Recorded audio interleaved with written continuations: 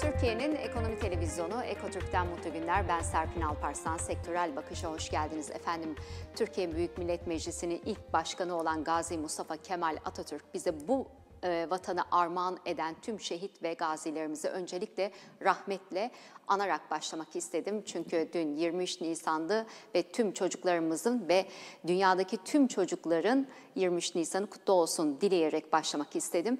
E, aynı zamanda bugün Ramazan'ın ilk günü ve e, Ramazan ayının da vermiş olduğu bereket ile iftar sofralarımıza tat ve huzur getirmesini diliyorum. Şimdiden hayırlı Ramazanlar diliyorum.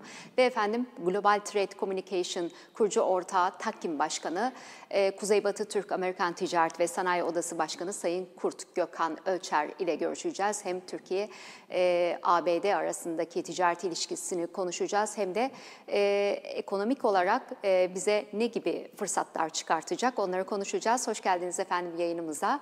Sayın Kurt Gökhan Ölçer. Hoş Efendim, Hoş bulduk. E, İyi yayınlar diliyorum. Teşekkür ederim. Koronavirüs dolayısıyla işte e, dün e, hem Avrupa'dan, Euro bölgesinden hem de Çin'den PMI rakamları da geldi. PMI rakamları oldukça düşüktü. Bizim en büyük ticaret ortağımız olan Avrupa'dan e, ve e, Çin'den sonra acaba yönümüzü biz Türkiye Türkiye'nin yönünü ABD'ye çevirebilir miyiz? Orada ne gibi fırsatlarla karşı karşıya kalabiliriz? Sizden ihracat konusunda özellikle e, bu işin detaylarını alabilir miyim? Hoş geldiniz yayınımıza. Tabii teşekkür ederim. E, şunu söyleyeyim, elbette fırsatlar var. E, Amerika pazarında Türk firmalar için fırsatlar var ama burada şöyle düşünmek lazım. Daha uzun vadeli, daha kalıcı, daha stratejik düşünmek lazım. Benim biraz son günlerde özellikle firmaların yaklaşımında veya bize bizimle bağlantıya geçen firmaların yaklaşımında şunu görüyorum.